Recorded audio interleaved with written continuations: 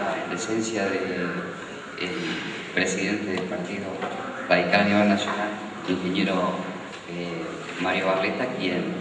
eh, será futuro diputado nacional y va a expresar los valores del radicalismo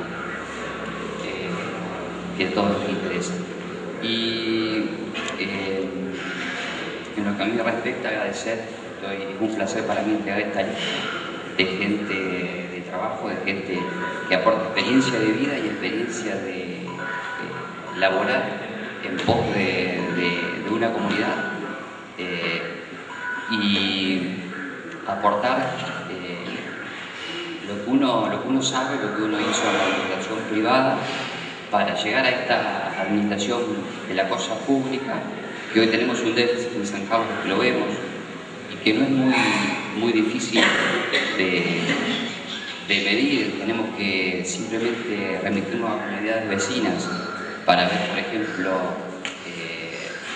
eh, como por ejemplo San Carlos, San Carlos Sur, como por ejemplo Fran, tienen planes de vivienda que están administrados con gestión eh, comunal, o como por ejemplo localidades como San Jerónimo, en donde las eh, los hogares tienen un 77% de hogares que recolectan la basura y eh, tienen gestión eh, pública y tratamiento de basura. entonces, bueno,